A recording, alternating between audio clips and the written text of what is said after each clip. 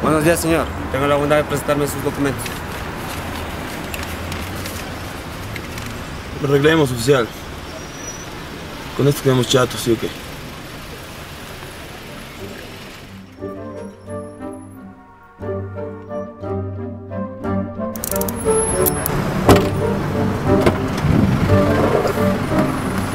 thank